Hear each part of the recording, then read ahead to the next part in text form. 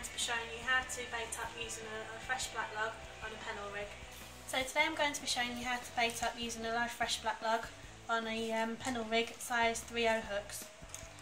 So the first thing I'm going to do is take the worm, take off that little bit at the front there just to make it a little bit easier to get on the hook and then we're going to thread it on like this.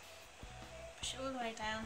When you get to around about halfway down the worm, what I always do is take the hook out, wrap it round, and then just go back through it again.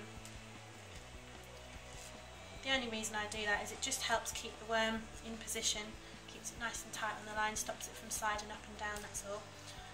When you've done that, you take the other hook, bring it down towards the worm, and then we want to just twist it around the line a few times and then put it through the, through the worm's head like that. When you've done that, pull the line nice and tight, keeps the worm against the hook, and there we have it.